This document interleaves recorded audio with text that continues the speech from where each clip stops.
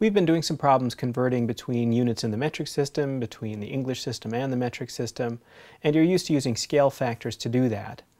Casey123960 said on YouTube, how do I do something like this? Convert from 3 kilograms per liter to grams per milliliter. A little more complicated than what we've done so far.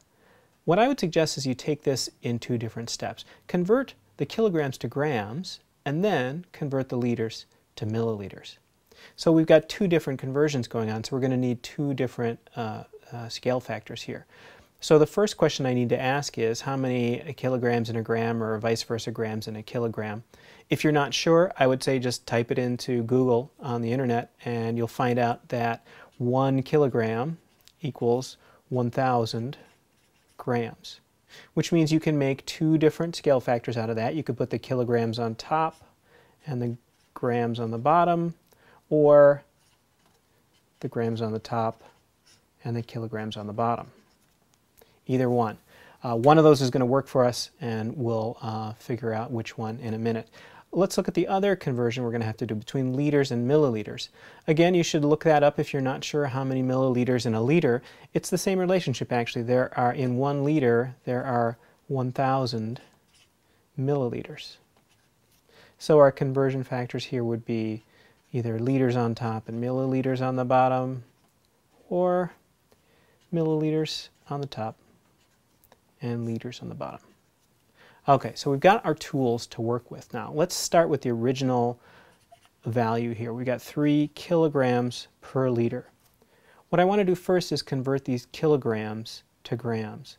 So I want to take one of these guys um, to multiply by. And what I want to do, if the kilograms are on top, I want a, a conversion factor, a scale factor, that's going to have the kilograms on the bottom so that the kilograms cancel out, leaving me with grams on the top. So it looks like it's going to be this one. So I'm going to multiply this by 1,000 grams over 1 kilogram. And yes, the kilograms are going to cancel out here. Now I've got grams on the top, which is what I want for my answer, so I'm halfway there. The next thing I'm going to do is convert my liters to milliliters. And here, the liters are on the bottom, so I want liters on the top in my conversion factor. So it looks like this one is the one we'll use. So one liter is 1,000 milliliters. Now this is all set up, I can cancel my liters. What I'm going to end up with is just grams over milliliters. Those are the only units left.